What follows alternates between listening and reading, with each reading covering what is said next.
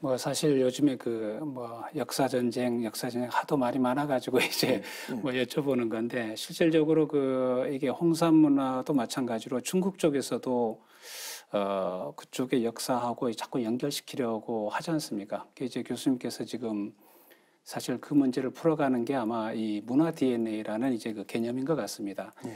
만약 그렇다면은 뭐 아까도 말씀을 했습니다만은 그 문화 DNA라는 것은 중국과 한국으로 만약에 한다면 네. 양분시켜 생각한다면은 한국 쪽으로 많이 좀 그 DNA가 문화 DNA가 그 프로테이지가 조금 높을까요?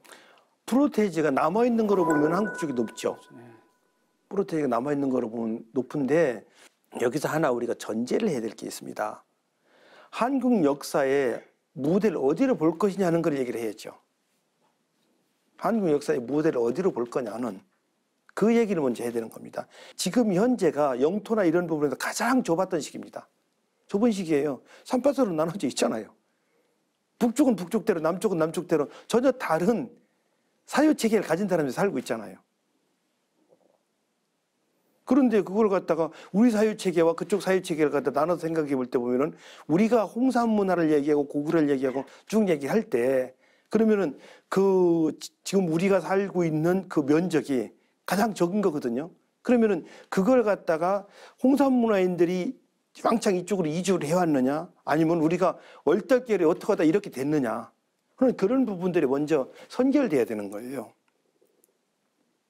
예, 우리가 지금 그 한반도 안에서 한반도 안에서 우리 민족, 우리 역사를 찾을 때 보면은 반도사관이 아니었다 그런다 그러면은 반도사관이 아니었다 그런다 그러면은 우리는 생각이 달랐을 거고 문화 DNA도 다시 따져봐야 되는 거죠.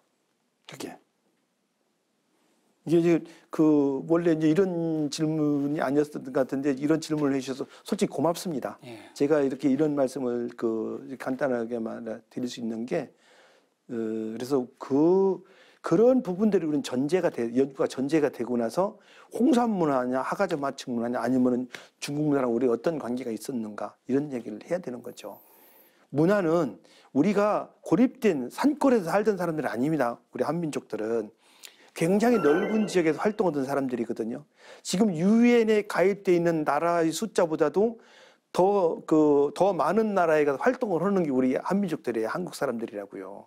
그렇기 때문에 그거를 얘기를 하려고 그러면은 그거를 얘기를 하려고 그러면은 우리가 지금까지 가지고 왔던 우리 한민족이라는 개념 있죠. 한국 역사라는 개념을 다시 한번 생각을 해봐야 되는 거죠. 전 그렇다고 봐요.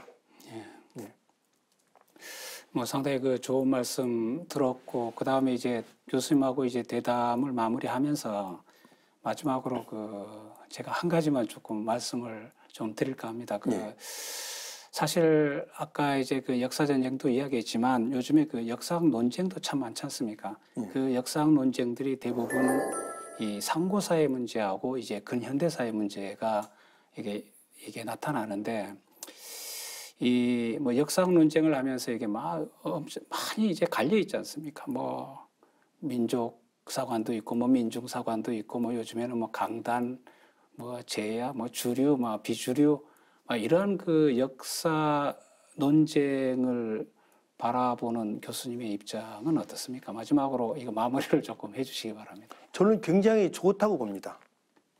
굉장히 좋다고 봅니다. 아까 제가 좀 전에 말씀드렸듯이 지금 유엔에 가입된 나라보다 더 많은 나라에서 활동하는 대한민국 사람들이 그 나라에 가서 활동할 수 있었던 거는 그 나라의 각국의 사상이나 그 건국 이념 있잖아요. 그거를 어느 정도 동의를 할수 있기 때문에 가서 활동을 하는 거거든요. 그렇잖아요. 그런데 우리나라 사회에서 우리나라 사회에서 그런 훈련을 받지 않았다 그런다 그러면은 절대 그런 행동에 그런 활동을 할 수가 없는 거죠. 그 다양함을 나오는 그걸 갖다가 다 인정을 해보고 그래서 그걸 갖다가 솔루션을 해서 최고의 가치를 뭘로 갈 것이냐 이걸 따져봐야 되는 거죠. 내가 생각이 이렇기 때문에 니들 다 따라와라 이러지 말라는 거죠. 그게 문제가 되는 거예요. 그게. 그래서 우리나라 사람들이 다른 나라에서 그 가서 활동을 할 때, 어, 야, 이 사람들을 우리 사상으로 바꿔야 돼 이러지 않거든요. 그 우리나라에서 굉장히 많은 나라 사람들이 들어와 있잖아요. 그 사람들을 붙잡아 놓고 너 와서 이거 우리나라 상, 그 생각으로 바꿔. 우리나라 법으로 따져 바꿔 이러지 않잖아요. 그래도 어 니들 그러고 살았냐? 그럼 여기서 살아라. 그 대신 여기서 뭐 이- 우리들한테 한국 미풍 양성만 깨치지 말고 뭐 니네들 저녁에 돼지고기 안 먹는 사람들 돼지고기 안 먹고 우리는 그러도 돼지고기 안 먹는다고 그래서 우리 그 사람들은 너 왜 돼지고기 안 먹- 삼겹살 안 먹어? 혼내지 않잖아요. 그게 한국 사람들의 가장 그 어떤 장점이란 말이죠. 이걸 갖다가 막아놓으니까 어떻게 돼요? 무언가를 할 수 있는 역량을 가진 사람들이 움츠려드는 거예요. 저는 굉장히 많은 사상이 있는 거 좋습니다. 그러면은 대한민국은 세계의 리더국가 돼요. 그리고 세계적으로 존경은 안 받더라도 존중받는 나라가 됩니다. 전 그렇게 생각.